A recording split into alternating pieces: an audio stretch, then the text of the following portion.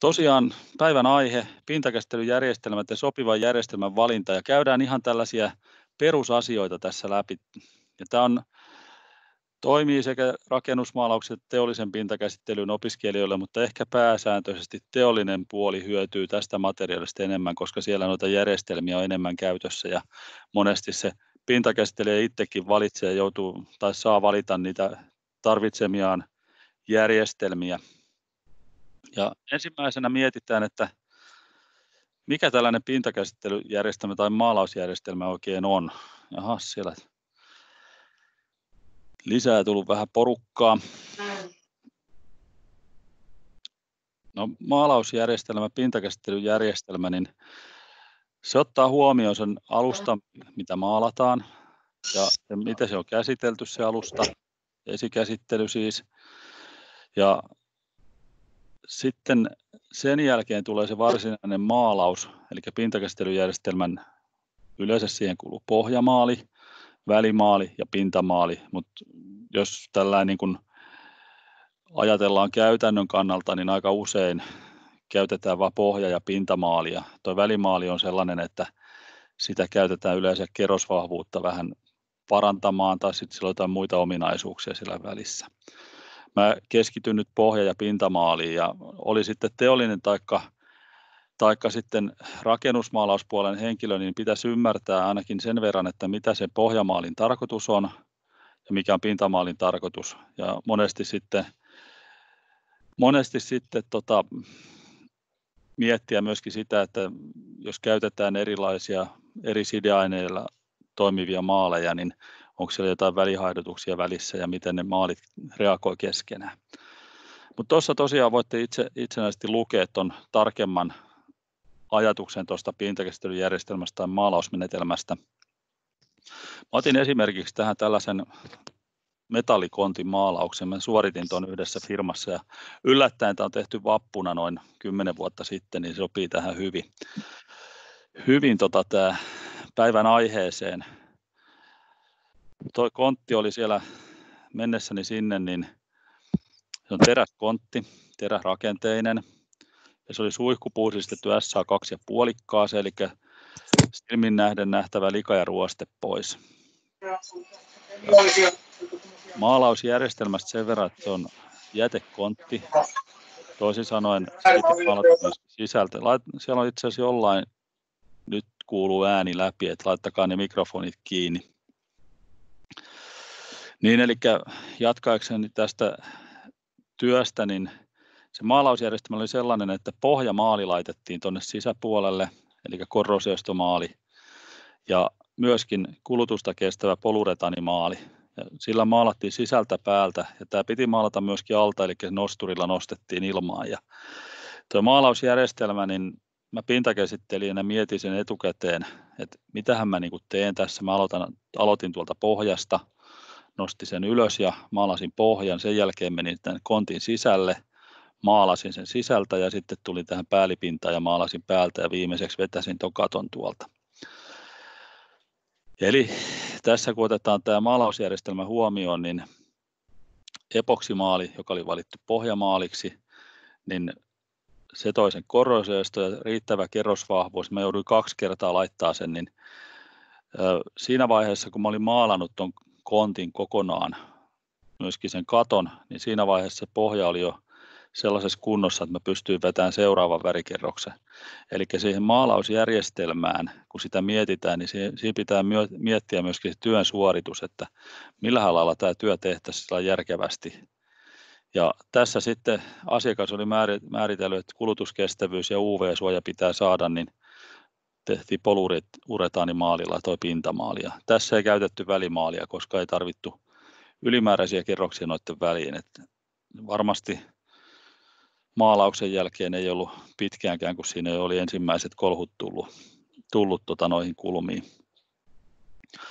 No nyt kun ruvetaan pintakäsittelytöitä miettimään ja olennaisesti tähän maalausjärjestelmän valintaan vaikuttaa nämä asiat myöskin, että pintakäsittelyjärjestelmät. Pitää tietää, mitä menetelmiä laitteita meillä on käytössä, paljonko se tuote saa maksaa. Tässä mä olen törmännyt muutaman kerran siihen ihan lähiaikoinakin, kun on käyty opiskelijoita katsoo tuolla oppisopimustyöpaikoilla, niin opiskelija ehkä haluaisi tehdä parempaa laatua, mutta kun se on myyty se tuote tietyn hintaisena, niin ne kustannukset yrityksessä aika usein määrittelee myöskin sen, että mitä se asiakas on valmis maksaa, niin mitä sille tehdään. No sitten tietty tämä maalauksen antama korrosiostokyky, säilyykö se tuote siinä kunnossa, kun se on.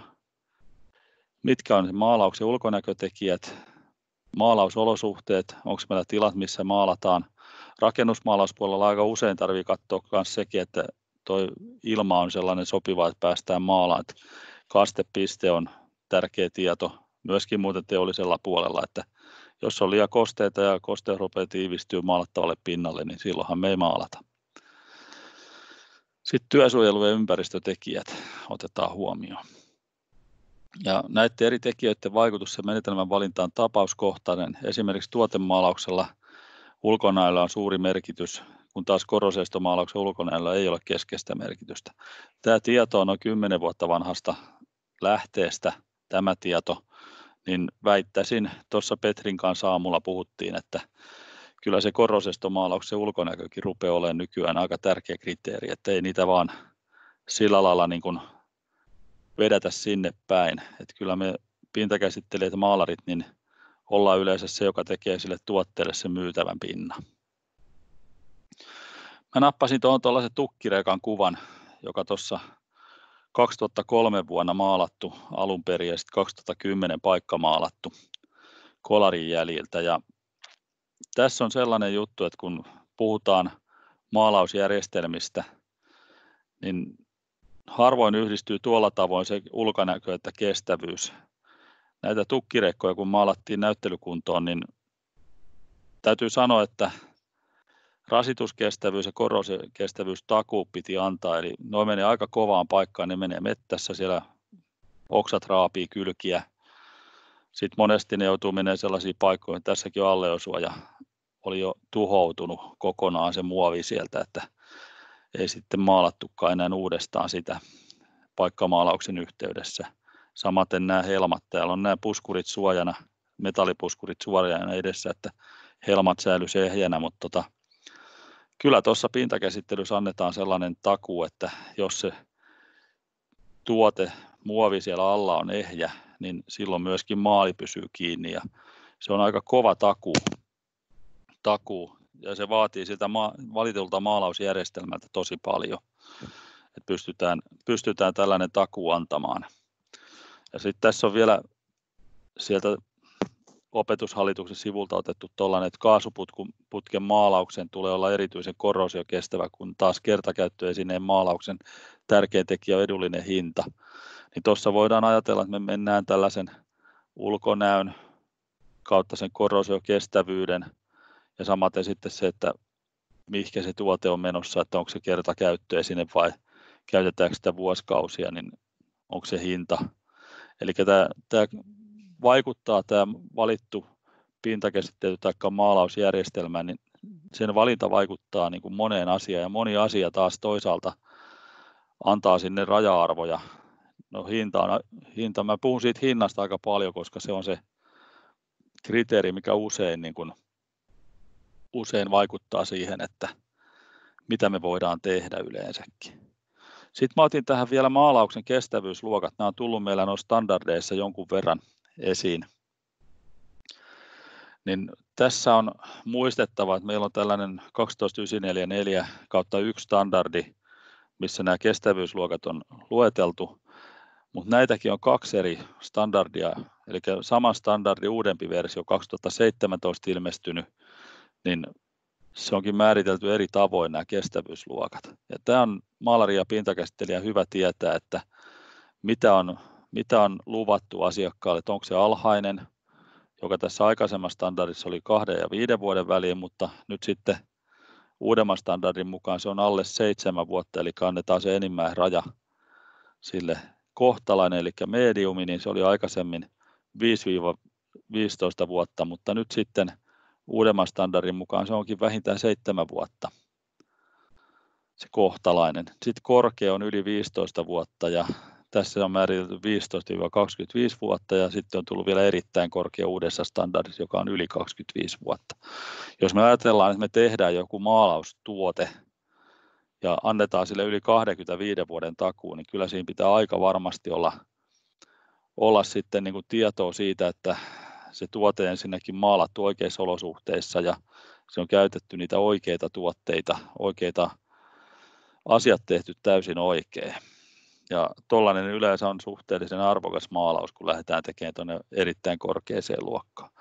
Otin tähän vielä tämän maalausjärjestelmän merkinnän lopuksi, että täällä on tällainen esimerkki siitä, miten maalausjärjestelmä merkitään standardin 4962 ja 5225 mukaan.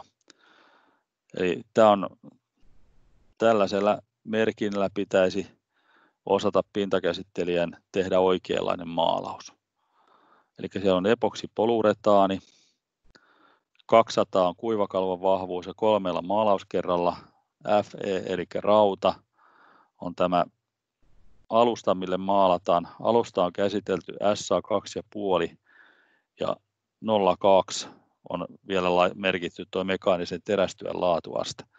Nyt kun lähdetään miettimään tätä toisinpäin, niin kun te maalaatte mitä tahansa, varsinkin teolliset pintakäsitteet, teidän pitäisi osata tehdä tällainen maalausjärjestelmän merkintä niille teidän tekemille tuotteille.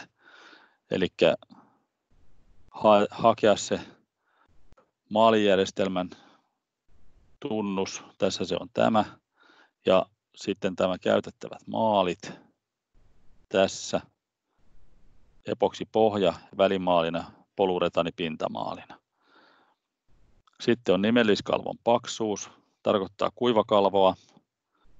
Mitattuna muutamasta eri kohdasta, niin keskiarvoisesti pitää olla yli toi 200 tai 200 ja kolmella maalikerroksella. Jos mä mietin, että miten mä itse tämän tekisin tämän ohjeen mukaan, niin mä luultavasti laittaisin kaksi kerrosta, koska täällä puhutaan pohja- ja välimaalina epoksi.